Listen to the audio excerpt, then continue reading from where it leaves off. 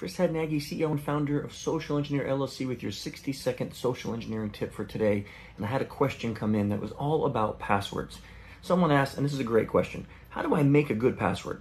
Well, let me give you the easiest solution first. And that is that you go and you get a password manager and you let it generate very long and complicated passwords. But let's say you don't have a password manager and you're still wondering, how can I make good passwords? A great password should be maybe a sentence with punctuation. Maybe you say things like, I really like Scotch whiskey, exclamation mark. And it has the spaces in upper and lower case, or my favorite whiskey is from 1953, exclamation mark.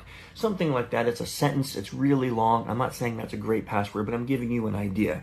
You might replace the O's with zeros or something like that. But a good password should be long, complex, and contain upper and lowercase, special characters, and numbers. I hope this tip keeps you safe. Check back in tomorrow and check out social-engineer.com.